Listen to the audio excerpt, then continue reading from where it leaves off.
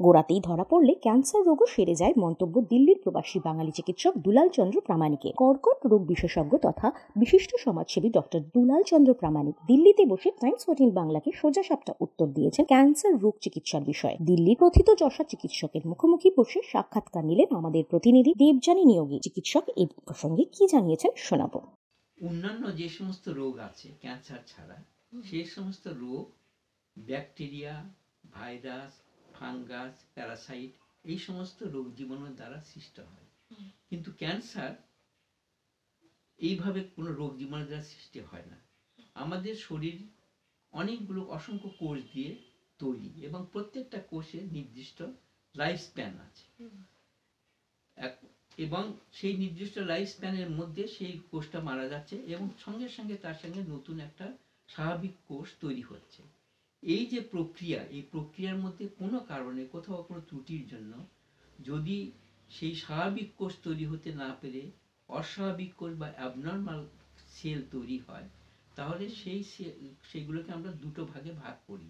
একটা হচ্ছে বেনাইন যেটা ক্ষতিকারক নয় আর একটা হচ্ছে ক্যান্সার সেল বা ম্যালিগনার সেল যেটা শরীরের ক্ষতিকারক। ক্ষতি করে এইভাবে ক্যান্সার রোগ সৃষ্টি হয়।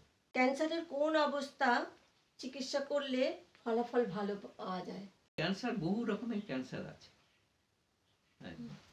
যে ক্যান্সারই হোক না কেন যদি প্রাথমিক অবস্থায় রোগ নিরূপণ করা যায় এবং চিকিৎসা শুরু করা যায় তাহলে ক্যান্সার রোগের চিকিৎসায় ভালো ফল পাওয়া যায়। আচ্ছা ক্যান্সারের প্রাথমিক বিপদ সংকেতটা কি? ক্যান্সারের প্রাথমিক বিপদ সংকেত হচ্ছে এক নম্বর যে শরীরে যে কোনো ঘা যদি সাধারণ চিকিৎসায় তিন সপ্তাহের উপরে চিকিৎসা করে ভালো না হয় তাহলে তখন ক্যান্সারের কথা আমাদের ভাবতে হবে।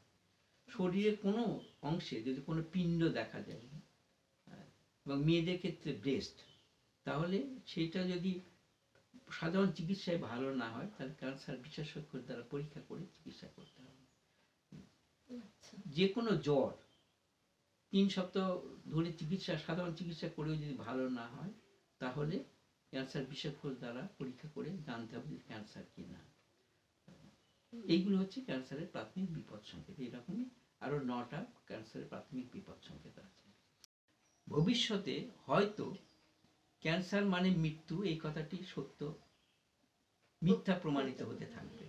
এবং ভবিষ্যতে হয়তো কেমোথেরাপি এবং ইমিউনোথেরাপি, এই হয় কেমোথেরাপি বা ইমিউনোথেরাপি অথবা যৌথভাবে এমন একটি চিকিৎসার সৃষ্টি হবে যে চিকিৎসা আমাদের ক্যান্সার চিকিৎসাকে অনেক সহজ করবে এবং অনেক মৃত্যু হার কমাতে সাহায্য করবে। Debjani Neogi, Times fourteen Bangla.